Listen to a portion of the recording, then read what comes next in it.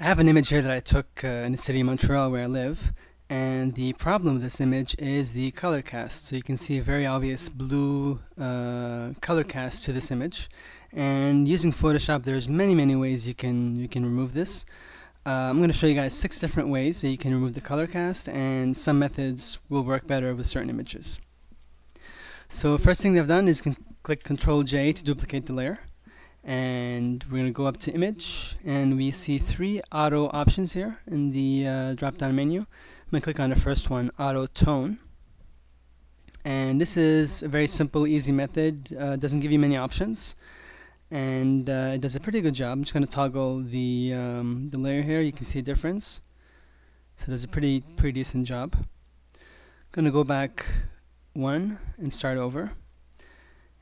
The other auto command that we have uh, accessible to us is the auto color, which actually works a bit better. It sucks out more of the uh, blue, uh, blue cast of the image. But once again, we don't have many options to work with. Next, we're going to go to uh, an adjustment that is probably not used very, very often, and that's the variations command. So under image adjustments, and we'll go to variations. Now the interesting thing about this command is it really gets you thinking about color, co color complements, color theory, and it really can be very, very useful. So I'm going to uh, make sure that the midtones are selected. I'm going to turn off show clipping. Sometimes it can be a bit uh, of a distraction.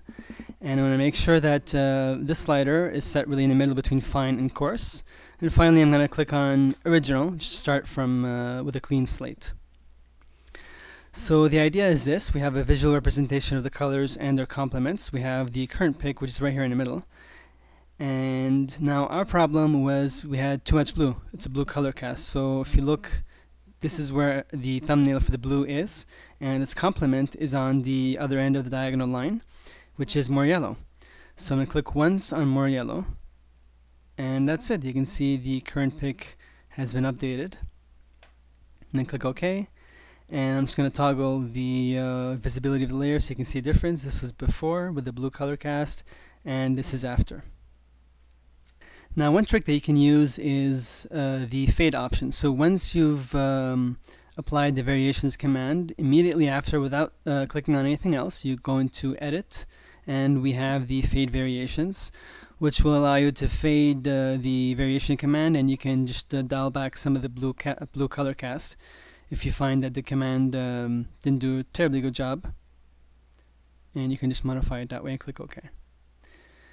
Okay, Going to go back to the original image, Control J to duplicate. Next, we have uh, an even better uh, command as far as I'm concerned to the variations command, and this is the match color adjustment. So I'm going to go into image adjustments and we'll go all the way down to match color. Next, we'll click on this little uh, button here, neutralize, and you can see it automatically does a great job of removing the color cast.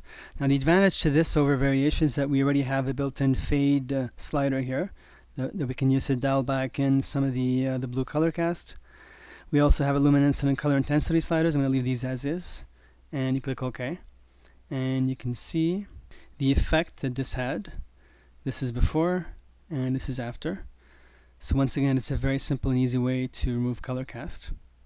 So, so far we've gone over three very easy ways to remove color cast. We have the automated methods, we have the variations command, as well as the color match command.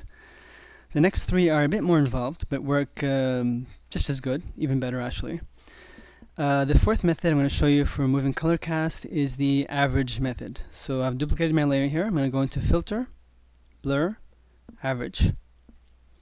And next we're going to find the complement of this color. So we're going to click on Control I and we'll get this brown color. And finally we're going to play around with our blend modes here. We're going to uh, choose the blend mode of overlay. And you can also choose soft light as well which gives you um, a bit brighter image more of the color cast. Oops. Let's go back to overlay. There we go. And once again I'm gonna toggle and you can see the job that it does. It actually does a pretty decent job. Not not as good as some of the previous methods but you can also dial back the opacity and make it a bit brighter bring back some of the color cast pretty good Next we have the very popular levels adjustment command. To click on levels And this has uh, really been a favorite of many uh, many Photoshoppers for removing uh, color cast. Now there's a few ways that you can use the, um, the levels adjustment command for color casting. Uh, first of all, we have these three sliders. So this is the shadow uh, eyedropper tool, we have the highlights, and we have the uh, gray tones, or the midtones. And what you do is you click on the first uh, um, eyedropper, the shadows, and the idea is to find a point in your image that you know should be black. So I'm just going to click Control plus a few times, I'm going to hold down the spacebar to zoom, and I'm going to click on this area here. Control 0 to zoom back out. Next we have the highlights, and I'm going to try and find an area that I feel should be exactly white. And it's a bit trickier, but I think we're going to move down to the sign here. Control plus, just click on this area here, and that made a big difference. The highlights are a bit overblown. Next, we'll have the um, mid-tone eyedropper. And the idea is to find a point that should be gray or neutral. And I think I'm going to click in this area here. That's pretty good.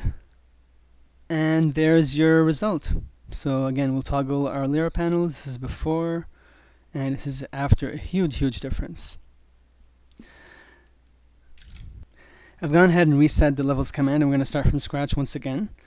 So the other method of uh, removing um, color cast with levels is to go into these channels here. I'm going to go into the individual channels. Now we know we have too much blue, so I'm going to go into the blue channel and just move the left hand slider to the right. Actually this is a bit too much. And this is pretty good right about here. It's before and after. Next, we're going to go into our green channel and we'll just nudge this a bit to the right. Remove from the some of the color cast for and after. Perfect. And this is the the, uh, the result that we get. This is before and this is after. So it's a bit more subtle, but it does greatly improve the image right away. The last method we're going to use is the curves adjustment layer, which is again a very, very popular tool. But this time we're going to use it a bit differently for our color casting. So I'm going to hold down the Alt modifier key, and I'm going to click on Auto, which gives us the dialog box with a few more options. And I'm going to click on the radial button for find, dark, and light colors. And most importantly, we're going to click on Snap Neutral Midtones